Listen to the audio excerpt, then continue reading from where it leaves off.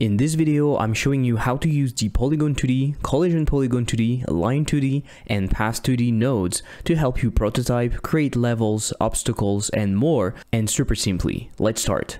If you've seen my 7 tips for better 2D visuals video, or if you've seen me prototype stuff live on Twitch, you know I love the Polygon 2D node. It's not just because of its crisp edges, and more because of its versatility.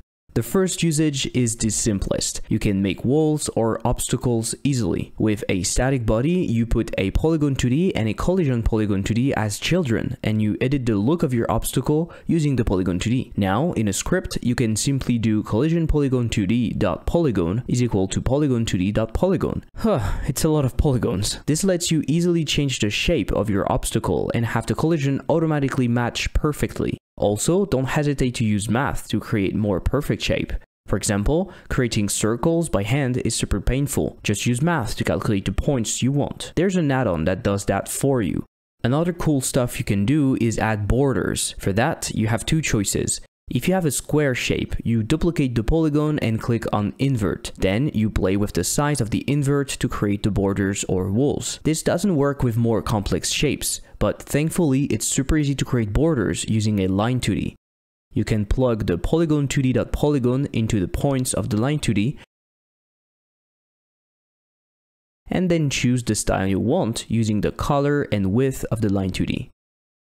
Both on the polygon and the line, you can use textures. Don't forget to set them to repeating if needed. You can adjust the texture position using the offset and the scaling too. This can turn what would just be used to prototype into a real object for your game. Of course, you can also apply a shader to do cool stuff with the texture. In my Ludum Dare game, Pizza Boss Rush, I animated the borders of the area and I also demonstrate how to do it in my trajectory line video.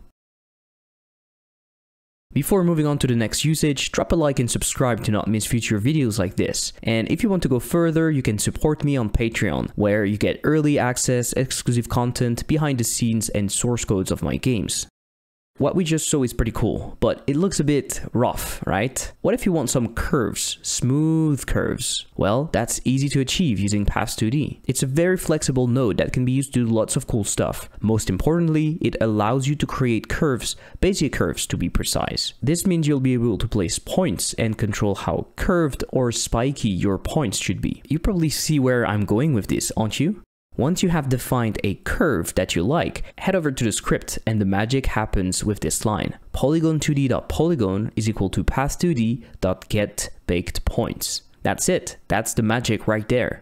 Few things to note here. We use get baked points because Godot will bake your curve into a multitude of points with which lots of small straight lines will be drawn. To control the resolution of this baking, you can play with the bake interval value on the path 2D. The lower the value, the greater the resolution, and thus the smoother it'll look. Be careful though, as the number of points can easily skyrocket. Play with the values and see what is enough for you.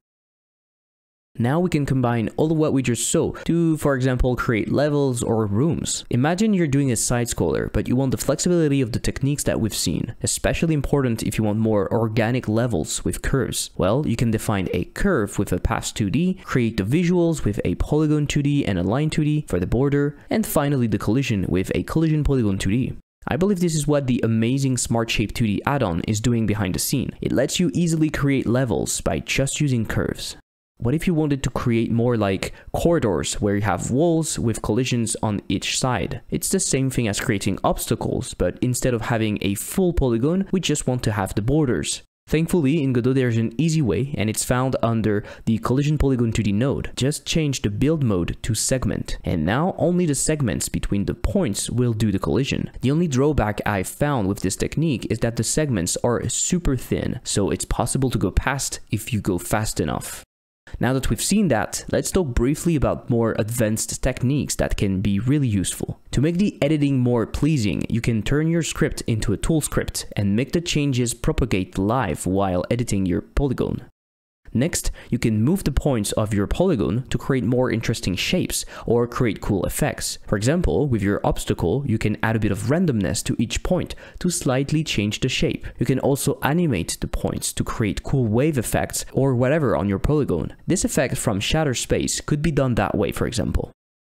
The last trick is to go further and combine different polygons using the geometry class. You can create complex shapes by using boolean operations, or you could make destructible terrain with that for example. I have two videos about this exact subject if you're interested.